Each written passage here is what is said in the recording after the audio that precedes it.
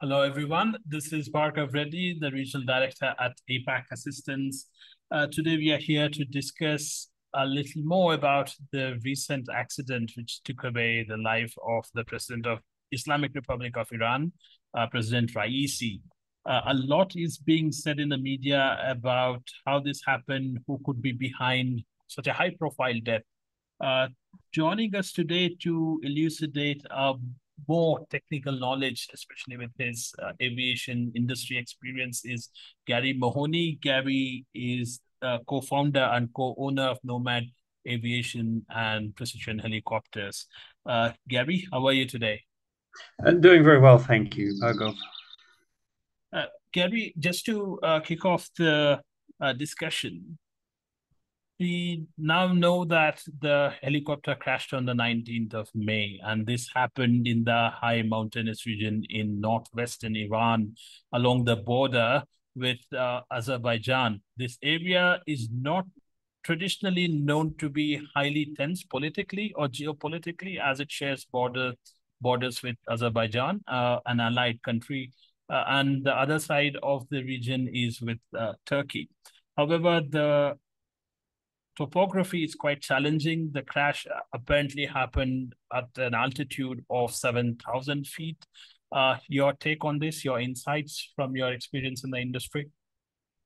Um, I, I, can't speak to the, the political side of it, but uh, looking at the weather, from what I've various videos I've seen, um, pictures pictures of the site, and knowing a little bit about the Bell 212, I, I'd say it's more likely that it's been a technical uh, slash um, pilot error type of accident. Um, it would it would seem on the surface that um, the, the, the kind of pilots that are going to be flying around the uh, any president of any country generally they're pretty competent people. You you don't get uh, you don't get to fly those kind of people around if you're uh, you know if you're not you don't have a degree of competency um, having said that, controlled flight into terrain can happen to um, uh, any um, any of us. It, it's a it's a something that happens. You know, there's probably on average two uh, flights a month um, where we have uh, uh controlled flight into terrain accidents, CFIT we call them, where uh, people uh, get into bad weather, um, either they get into instrument conditions and they end up uh, with losing situational awareness. They're not sure exactly where they are, and instead of uh, being um, on a on a track between A and B where they think they are, they're actually uh, uh, you know off course, and uh, they get themselves in amongst the hills, and they can run into hills, um, and uh, you know, particularly common uh, in bad weather. Um, there's been a rash of them um, in Indonesia over the years. Uh, a couple of years ago in uh, east coast of Australia, there was three or four of them within about three months. So um, they're not location discriminatory. Um, it's pretty common uh, globally these kind of accidents. The two the Bell 212 is generally a pretty reliable aircraft um, there's plenty of them around still flying and um, looked after. Uh, they, they run pretty well and, and they give a good uh, uh, service history. However, one of the issues with the 412 has always been its single engine performance. And given, you know, there was a flight of three and uh, two of the other aircraft made it to the destination uh, without any problems, I wonder whether um, they've been um, en route. They've had some kind of an engine problem um, with the Pratt & Whitney PT6-3B engines in them at around 7,000 feet with 8 POB and uh, any reasonable amount of fuel, um, say a thousand pounds, you know, 400 to 500 kilos of fuel, they will not maintain altitude on one engine. So if the aircraft has had some kind of power problem on one engine, um, they will have had to descend. They would have no choice but to descend. And if the weather's been bad and they've not been able to see where they what they're descending into, uh, it's quite possible that uh, you know they've they've had no choice but to descend, and they've had to descend into uh, mountainous terrain, and, and, they've not been able, able to uh, pull off a successful landing.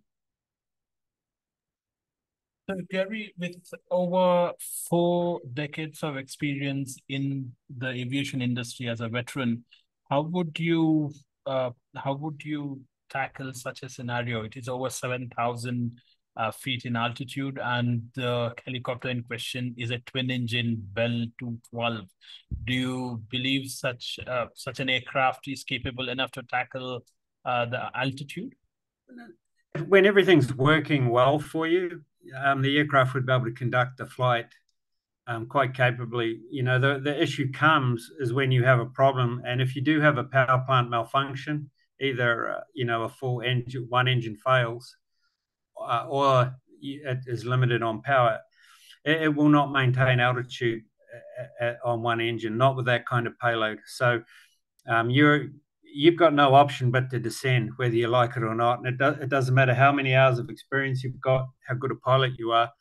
It's just one of those. It's a, a simple fact of of uh, a function of horsepower um, and uh, payload. And, and in that particular circumstance, if one engine uh, did have a power problem, um, the the bet it's just going to come down to to absolute luck that you're going to be able to get down through the cloud and find a place where you're going to be able to pull off a successful landing. Um, it's not the ideal. I would not have thought that for the leader of a, you know, a, a leader of a country, a president of a country, it would have been the ideal aircraft for that kind of flight and that kind of terrain, simply because of the lack of redundancy in the event of an engine failure. So, uh, Gary, the fleet what Iranian Air Force uh, operates is fairly old, and it's very well known that Iran is under prolonged sanctions. Uh, do you think that may have contributed to the poor maintenance uh, of its fleet, including this particular helicopter? Um, it's hard to it, it's hard to say in regards to the maintenance that's been conducted on the aircraft. Remembering that these kind of accidents have happened um, all over the world. Technically speaking, the Iranians, you know, have been quite proficient. You know, they build their own rockets, they build rocket engines. Um, uh, you know, obviously their drone technology is quite good. Uh, they're, they're fairly technically uh, sound people, and and you know while these engines are old, it's quite possible that they've have the means they've found the means to uh, produce some of these parts for themselves or you know being able to w- work around the sanctions so it would be quite difficult to comment on the state of the maintenance on the aircraft without kind of you know, you'd obviously need a bit more information. Um, but sometimes you just happen to be in the wrong place at the wrong time. And if you do have a problem in those kind of conditions, like I say, it, it doesn't matter whether you're in uh, northern Canada, uh, western USA, parts of Australia, middle of Africa. You know, the, the the outcome of that problem is going to be the same, regardless of who's flying it and and where you are. That's point well taken, Gary. And it needs to be noted that the crash site is between uh, Iran Azerbaijan border and Tabriz, which, which is part of the eastern uh, Azerbaijan province of Iran. Uh, it's fairly well known to be quite rugged in terms of its topography. And your point about doesn't matter where it is, if the landscape is challenging, uh, it will be difficult to manage. Uh, but at the same time, um, the, the, there is also a question being raised about high profile nature of such uh, such an accident. How is that only the president's helicopter get, uh, gets into a snag, either technical or because of uh, you know pilot ever in such a difficult condition? Uh, apparently, there was an issue of fog and rain uh, it, on Sunday when it actually happened. Would you like to comment on that? Yeah, I, I mean, these aircraft are non-discriminatory when it comes to the passengers on board them. You know, uh, they don't. Often you hear these various aircraft are described too with personalities. People give them names um, and speak of them as though they are uh, human. You know that they have human tendencies that you know uh, she's a good old girl it'll look after me it'll get me to the the final site. But these aircraft are non-discriminatory. They don't care whether you're the president of iran. They don't care if you're a billionaire. Um, tech billionaire out of the united states i mean these things uh, are they're, they're machines. And, these kind of accidents happen to you know rich people poor people uh, presidents you know, non-presidents alike, and so it, it, could have been that this was just his that, that this was just his day, um, and the aircraft had a problem. Um, like I said, it would seem unlikely to me that the pilots, given their, you know, given who their passengers were, um, given um, their job at hand, that they would have screwed up so badly that they got themselves into bad weather and um, became disoriented and uh, ended up as uncontrolled flight into terrain. Um, and, and, so, what happens in a circumstance like that is a, a typically a non-instrument rated pilot would fly under the cloud. Um, they would become spatially disoriented. So, when you uh, so when you're flying a helicopter, basically you're you're relying on your the sensors knowing where your horizon is to keep you upright. When you fly into cloud and you, you don't have a fixed horizon, the, the human mind starts playing tricks on you, and the and you've got about 56 seconds for an untrained instrument pilot when you fly into the cloud and you can't see a horizon, you have about 56 seconds before you will lose control of the aircraft and crash into the ground. Um, it, it, doesn't matter how much experience you have. Um, unless you have training on instrument flight, how to fly the aircraft in relation to, to instruments, um, you, it, will, it will happen that quick. And it's almost universal. Some people go a little longer, some people don't go that long at all. But it's generally considered to be about 56 seconds. Like I say, it would seem, given the passenger, um, that these the pilots that were flying that aircraft, you know, would would almost certainly be instrument rated uh, and and and competent instrument pilots. So the uncontrolled, the theory of an uncontrolled uh, flight into terrain, you know, doesn't sit that well with me. Um, and so it comes back to there's been some kind of a technical problem. You know, they've not had enough power to maintain altitude and have been forced to descend into into hostile terrain.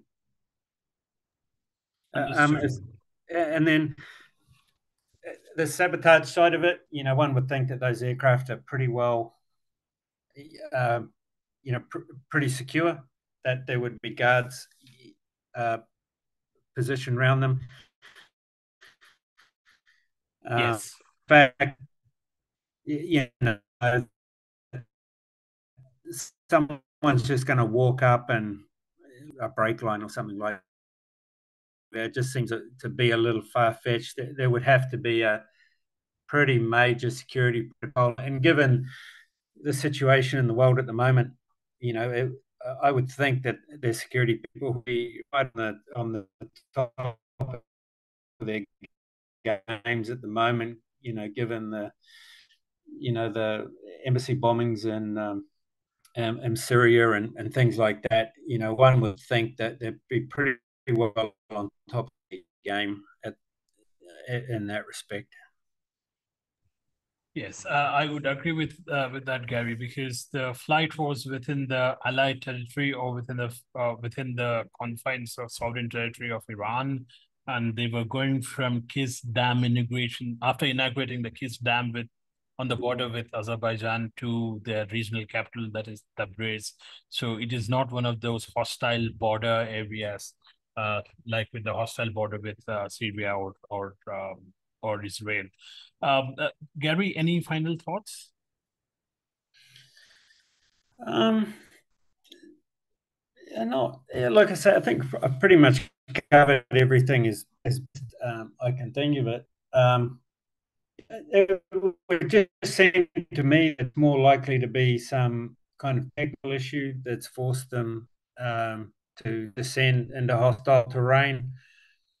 Uh, and like I say, these mechanical failures are non-discriminatory. They don't care uh, who's on board the aircraft, and, and, there's been enough of them over the years. You know, um, Kobe Bryant is a good example of an aircraft accident. Uh, that was an uncontrolled flight into terrain. The pilot climbed up through the cloud, um, didn't maintain his reference to the flight instruments, lost control of the aircraft, crashed into the ground. Now, the aircraft did not care that Kobe Bryant was a, a world famous sportsman or, or, a billionaire. And so things happen. And, uh, and, and then as far as the, you know, the sabotage side of it, you know, while it's possible, it just seems unlikely, you know, given the location. And it, it would seem to me, uh, given the 212 is well known for having very poor uh, single engine performance. Um, you know, it would seem more likely that there's been some kind of technical issue and they've been forced to just, you know, clearly was foggy. You're just not going to see the mountains come up in front of you. And, you know, by the time you do, you're at uh, you're at such a forward speed that there's just nothing you can do about it. You know, you, you're it's really going to come down to luck that you hopefully pop out in a in a in a valley somewhere, and you've got enough time to to spot a place and put it down. But uh, you know, it's not often you get that lucky in those kind of situations. And, and like I say, these things are non-discriminatory. They just don't care who's on board. Um, and and like there's so there's so many of these accidents um, that you know it uh, there was one in Indonesia recently in uh, Sulawesi, uh, White Sky Aviation for uh, the nickel mining company over there in Sulawesi. Um, uh, they were in a Bell 429, quite a modern aircraft with uh, you know good single engine performance and, and, and a good suite of avionics, autopilots, things like that. But when you're not prepared for instrument flight, the shock of going what we call inadvertent IMC is quite uh, confronting. You know, it's a it's quite startling, and you have to be uh, really on your game to be able to uh, engage your um, figure out a flight routing, particularly if you're amongst the hills, um, and get the aircraft stabilized and get it to a place where you think you can let down. Um, you know, and, and often people panic. You know, people panic, and they forget to fly the aircraft, uh, which is funny as it sounds, but um, there was an Air Asia accident uh, between um, um, uh, Eastern Java. They're heading to um, Singapore a, a, few years ago. Um, the co-pilot, uh, sorry, captain went down the back, and for whatever reason, inexplicable reason, he uh, turned off the flight computers to reset them. For a problem that he didn't have to touch anything. And the aircraft crashed because the lifetime uh, pilot, uh, who was the co-pilot, couldn't fly the airplane. Uh, lost control of it. Uh, was not able to maintain uh, his horizon on the standby uh, attitude indicator, and the aircraft high-speed stalled, spun, killed 180 people on board. And so sometimes it's just the shock factor. Um, and like I say, it's just sadly, it's all too um, it's all too uncommon. Thank you for that. Uh, we uh, we appreciate you taking the time at a short notice. Uh, we will send you a copy of this recording uh, tomorrow. Thank you. Sure. Yeah, no problem. Thanks, Bhargav.